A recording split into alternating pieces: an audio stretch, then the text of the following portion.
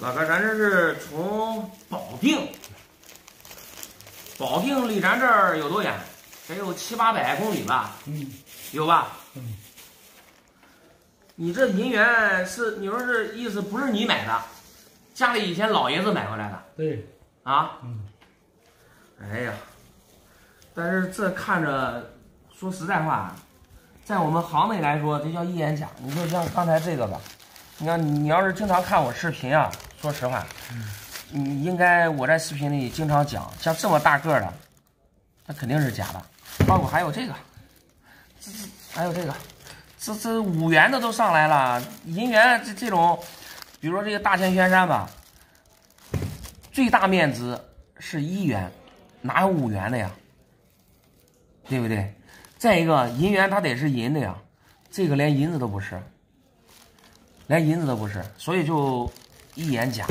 包括这些，你这这这都是，说实话，这一招币，没见过这样的。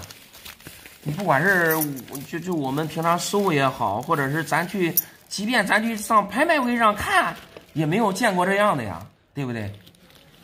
啊，这这一看这都是假的，这都是假的。哎呀，这大铜钱，嗯，大铜钱，这花钱咱不懂，不做评价。但是这个你说顺治通宝，首先这个字体不对，再一个顺治通宝没有这么大个的，你看这个还当签，没有当签的，顺治没有当签的。我跟你说啥有当签的吧？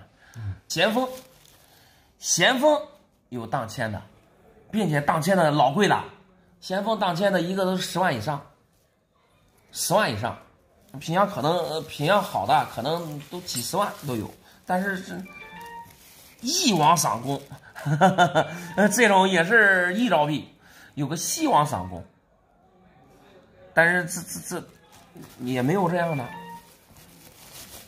嗯这都是一眼假。这个这这个钱我不懂，有啥说啥的，咱不懂，这花钱。来，谢谢。广东，哎呀，这你这收藏的老哥有啥说啥的，你这这要是对了，这是厉害了。广东双龙，问题是这也不对呀、广东双龙都上千万的东西，这个是啥呀？这北洋龙，三十四年的，这是个普通的短尾，但是这这这也不对。这也不对，我这里面也是银元哦，那那个都是都是老货，啊，老货，都是老钱。老货。我的天哪！哎呀，这不行，这这锈太假了，我这还粘在一起的。不懂的话，以为以为是老的，但是这明显的锈也不对，锈很浮，这不行，这怎么连银子都不是，这就是仿的，仿的较长的。仿的这这这这罐装，你看这锈，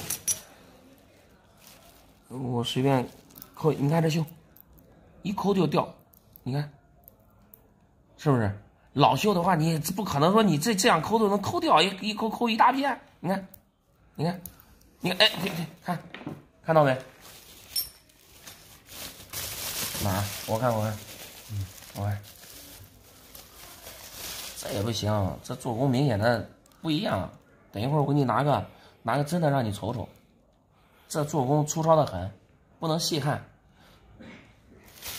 还有没有了？有的，你先先把这些装起来吧。啊，这是盒子装的。嗯我的天呀，十十八年的孙相，这个也是四铢币，真品的话也是上千万。但是你这，我拿拿出来看一下吧。哎呀，这连银子都不是，看着怪亮。来，这这这个你收起来。这不行，这都一眼假。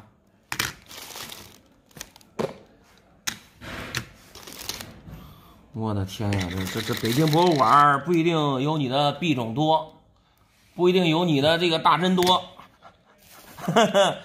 老哥，我说实话，你就跑到故宫博物博物馆，他他也没你的没你的大针多呀，这哪个省的都有啊？